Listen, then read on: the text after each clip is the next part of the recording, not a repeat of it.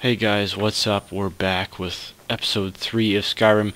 So a couple things have changed. Um, first of all, there's a quest that we are doing.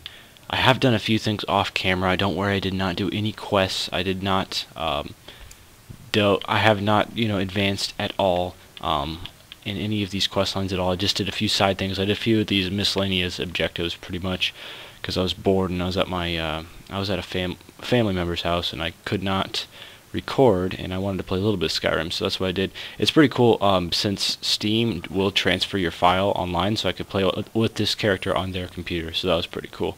But anyway um, I did talk to this guy because I was turning in a side objective to him and I by accident progressed the story.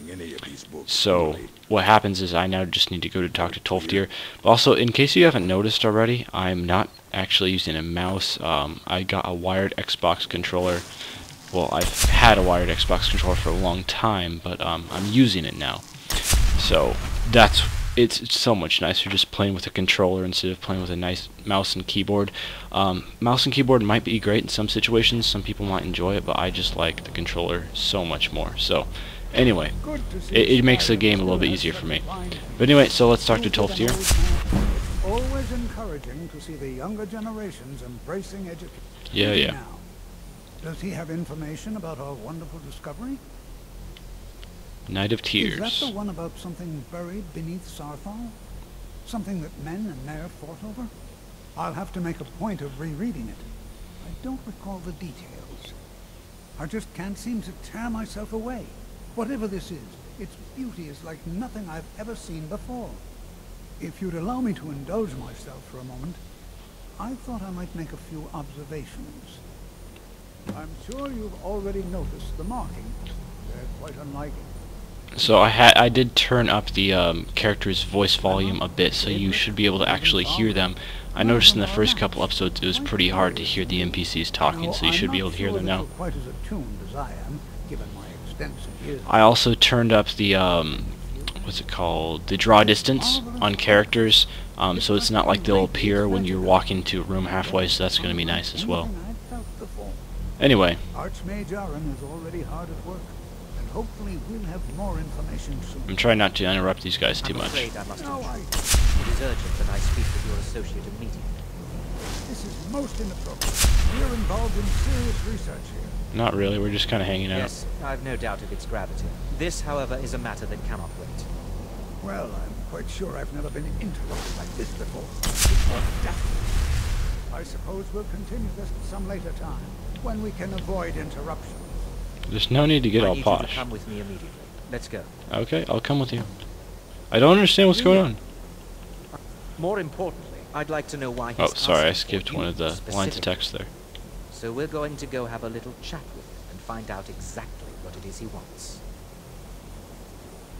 Okay.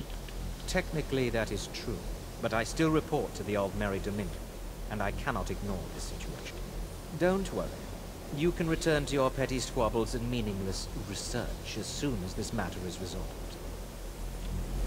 He has to talk all official and educated like. Anyway.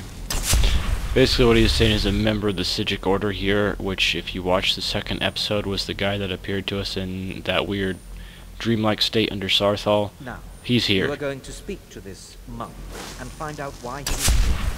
Now, you are going and the reason why I keep on casting the muffle spell over and over is to train my illusion. If you didn't already know that, you probably know that already. But yeah, you I just want to get my illusion up, and it helps me level up faster. Because unlike Oblivion, there are no consequences for leveling strictly one skill over and over. And illusion isn't a very useful skill anyway, so it doesn't really benefit you that, that much by power leveling it. Several if you're talented. It is good to meet you in person. I'd simply like to talk to you. I've given us a chance to speak privately. But I'm afraid I can't do this for long. We must be brief. Okay. The situation here at your college is of dire importance. And attempts to contact you, as we have previously, have failed. I believe it is due to the very source of our concern. This object, the Eye of Magnus, as your people have taken to calling it. The energy coming from it has prevented us from reaching you with the visions you have already seen. The longer it remains here, the more dangerous the situation becomes. And so I have come here personally to tell you it must be dealt with. I'm afraid it's not that simple. You must understand the Psijic Order does not typically intervene directly in events. My presence here will be seen as an affront to some within the Order. As soon as we have finished, I will be leaving your college. I'm also aware that my arrival has aroused suspicion, especially in Ancano, your Thalmor associate. Nevertheless, my order will not act directly. You must take it upon yourself to do so. Not sure what's with all the floaties around the room. That's kind of weird. As you may have learned, this object, the Eye, is immensely powerful. The world is not ready for it. If it remains here, it will be misused. Indeed, many in the Order believe it has already. Rather, something will happen soon, something that cannot be avoided. We believe that your efforts should be directed towards dealing with the aftermath, but we cannot predict what that will be. I fear I have already overstepped the bounds of my order, but I will offer this. Seek out the Augur of Dunlain here in your college. His perception may be more coherent than ours. I will do that. I... I am unsure. He is somewhere within the college. Surely one of your colleagues must know his location. I am sorry I cannot provide you with further help, but this conversation requires a great deal of effort on my part. Now, I'm afraid I must leave you. We will continue to watch over you and guide you as best we can. It is within you to succeed. Never forget that. Okay, so now we have to go find the Augur of Dunlain, which is like, um, I'm not sure the best way to describe it, and that's the wrong way. We need to go back to the Hall of Elements, because Tolfdir knows where the Augur is. Um, but basically it's kind of like, I guess you could call it an oracle, and it knows some, it gives you wise advice and wisdom and stuff, so where did Tolfdir go? Here's J'zargo. Um, I'm not seeing Tolfdir. One thing that we can do, though, is I now have J'zargo as a follower. Because uh, what you do is you just you use his flame cloak spell that he gives you um, on undead creatures like three times, and then you just return to him and he gives you a little bit of gold and he says he'll follow you. So he's really good to have as a follower. Um, he can be very very powerful at higher levels. He can do a lot of damage when he gets because he's a destruction caster. Um, so yeah, he's, he's quite useful to have as a follower. I'm just not going to use him yet because uh, last time I had J'zargo as a follower at a low level, I killed him by accident and then I got kicked out of the college. So yeah, he was at very low health and I was swinging a two-handed sword and I kind of hit him in the face and his head separated from the rest of his body and he died. So that is what can tend to happen to followers and the problem with uh, doing that to one of the Mages Guild people is Tolfdir's not supposed to be... I'm not sure where he is. He's supposed to be in the Hall of Elements during the day, but he wasn't there, so we're just going to wait till night, because I know for a fact he sleeps in here. And we're going to stalk him. But anyway, yeah, if you kill one of the Mages Guild followers, because there are a couple of them... There he is. Speak of the devil. Always encouraging if you kill one of the Mages Guild followers, you get kicked out of the Mages Guild, and you have to do a quest to rejoin it. That's what I'm trying to say. Well, now, there's a name I haven't heard in some time. Star Wars reference. My goodness, it's been years since I've spoken with him. I suppose he's still down in the midden, but I haven't checked. Are you going to see him? Do tell him hello for me, won't you? Underneath the college. It's not the nicest place, so if you go down there, please do be careful. Take care now. You gotta admit, Tolfdir kinda does sound like Obi-Wan Kenobi. I need your help with something. Something private. Uh, what do you need help with? Yes, but it needs to be kept quiet. I may have entered into an agreement with Enthir.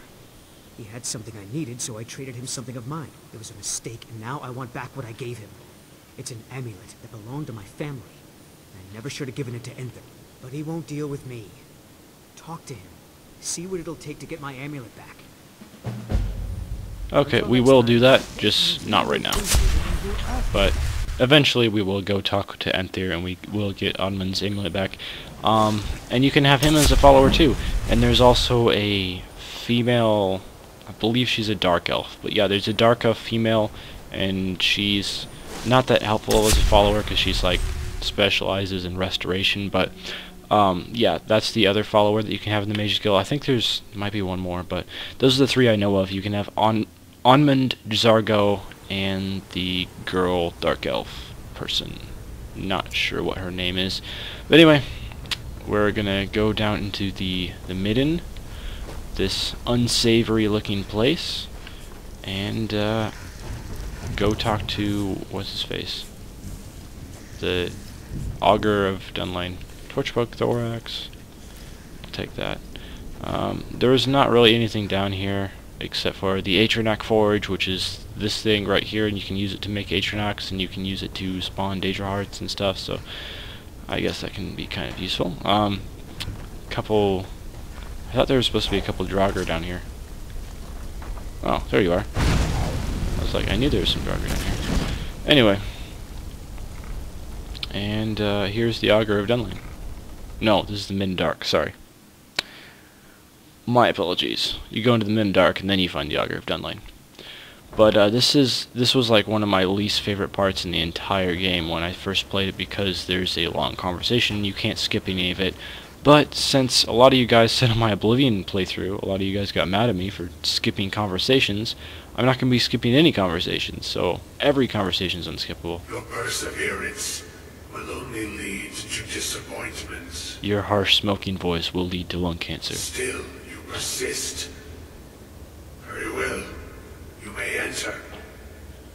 Okay. Let me in. Hey man, how's it going?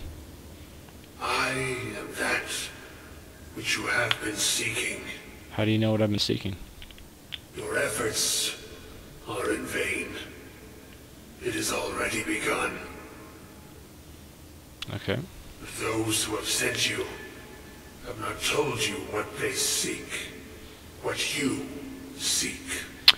So he's engaging in hyperbole a bit. Indeed. And so you have come looking, though you do not know why. I know I don't wanna be here. You, you blindly follow a path to your own destruction. The Thalmor came seeking answers as well, unaware they will be his undoing. Your path now follows his, though you will arrive too late. This is one of the characters in game where they clearly didn't have a professional voice actor did the voice for it. It was just some office guy speaking into some guy around the office speaking into like a voice changer. He seeks information about the Eye, but what he will find shall be quite different. His path will cross yours in time, but first you must find that which you need. Batman. This guy does kind of sound like Batman. You gotta admit that. He's got the the harsh smoker's voice, just like you know Batman does. You and those aiding you wish to know more about the Eye of Magnus. You wish to avoid the disaster of which you are not yet aware. To see through Magnus's eye without being blinded, you require his staff. Events now spiral quickly towards the inevitable center. So you must act with haste. Take this knowledge to your Archmage. Alright, so we never have to visit the Augur of Dunlain again unless we eventually do the Master Restoration quest. But I won't go into that because uh, I won't be doing the Master Restoration quest anytime soon. Um, so we won't ever have to worry about talking to him again. But anyway, yeah, let's just go back to the Archmage and uh, I don't think this is the part where we go in Labyrinthian yet. There's one more dungeon. We have to do this like dwarven dungeon first, but after that we get to go into Labyrinthian, which is my favorite dungeon in the entire game, and I'm very much looking forward to doing that one. But um, we'll get to that probably not next episode, but maybe the next episode after that, or something like that. But yeah, but there is some sort of uh, dwarven ruin slash dungeon that we have to explore first, and there's an ice wraith. And there's no more ice wraith. Okay. I think I may have turned down the difficulty a bit. Um, because I was in a dungeon that was extremely hard. Uh, I'll turn the difficulty back up off camera because uh, we're just about to end off the episode here. But first, we need to go back to the Archmage and get the next uh, area of this quest. The best thing about playing a, um, Skyrim on PC, I have to admit, is the loading screen times. Because um, I don't know if this is true for newer Xboxes, but I know on my Xbox I just have like the classic Xbox 360, um, the one that came out in 2006. Uh, the loading screens take absolutely forever. Just even opening this door into Skyrim, it's like a good 30 to 60 second wait. It's awful. What you learn here will last you... Really? And what might that be? Your lips are not in sync with the words that you're saying. I'm sorry, what? Well, I'd certainly love to have such a powerful staff. But I'm not really sure that any of us need it. And how do you know of this? Did you really? And he specifically mentioned the staff of Magnus? I... I'm impressed with your initiative. Of course, someone will need to follow up on this. A most impressive attitude. Keep this up, and you'll do quite well for yourself. Something as specific and ancient as the Staff of Magnus. I'm not sure we'd ever find something like that. I seem to recall Mirabelle mentioning the staff somewhat recently. Why don't you see if she can tell you anything? I'm quite pleased with your progress, you know. You've certainly proven yourself to be more than a mere apprentice. Well done. This circlet once proved invaluable to me. I hope it can be of use to you now. You know, I've never liked this guy, this character in the game much, and I'm glad he dies. Spoiler alert. Later on, but um, he always sounds like one of those older gentlemen who's like way overly friendly. He's not like a creep. He's not going to follow you home and look in your windows, but at the same time, he's just way too overly friendly to ever be comfortable around. And he keeps on like giving you random junk. Like he just gave me uh, what was it? Some kind of circlet, circlet of minor alteration. I think that's what he gave me or was it Mage's Circlet? Increase your Magicka. Um, anyway, I'm going to stick with... Oh, actually the Mage's Circlet is a bit better than Novice Hood, so... Hey, we'll wear, we will wear the Mage's Circlet now. And look like a princess. Yes. Yes. Anyway. That's pretty cool. But we need to go talk to Mirabelle, who's the real princess of the Mages Guild.